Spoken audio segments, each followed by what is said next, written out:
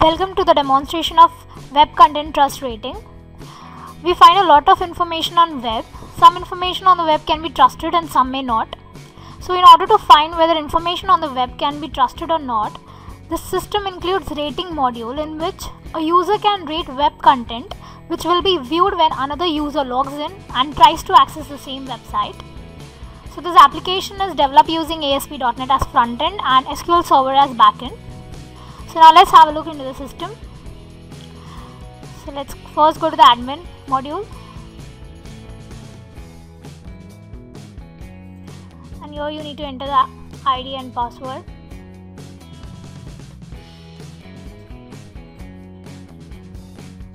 So, uh, so as soon as the admin logs into the system, these are the options available that is view users, view rating, view feedback, change password. First one is view users that is the admin can view all the registered users information like the name, email ID, address and the contact number. So the next one is view rating. Here the admin can view the URL that is a website URL and whether it is trustworthy or not. So the next one is view feedback. Here the admin can view all the feedback that that are submitted by the user, users of the system. Next one is change password. So here the user ID will be fetched and if the admin wants to update the password, so the admin can update it from here. Just click on update. So the matching will be done and the password will be updated. This is all about the admin module. Now let's see the user module. If the user is not registered, just click on register and the user needs to fill the following information and then just click on register so the data will be inserted in the database.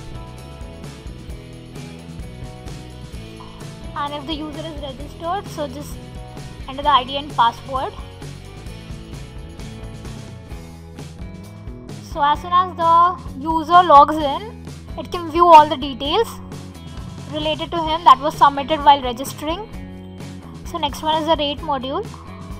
The user needs to enter url over here. So let's first enter.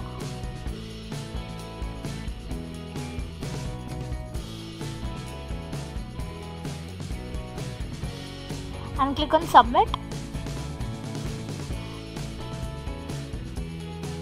So as soon as you click on submit, the website page will be displayed over here as you can see. So no rating that is you haven't yet rated this website. So just click on rate if you want to rate the website and just just enter the rating you want to give out of 10. So 5 6 once you're done just click on rate so the information will be entered in the database.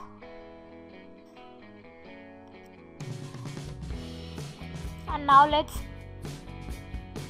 let's enter some other url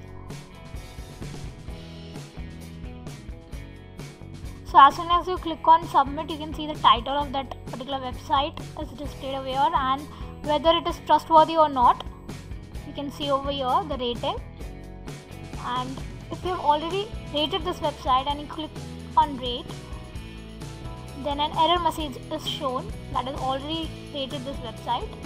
So you cannot rate it again. The next option is feedback. Here the user id will be fetched by the system and here you just need to enter the feedback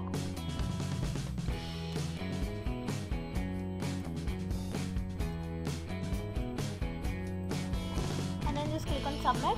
So the information will be inserted in the database. So this is all about how the system web content trust rating works. Thank you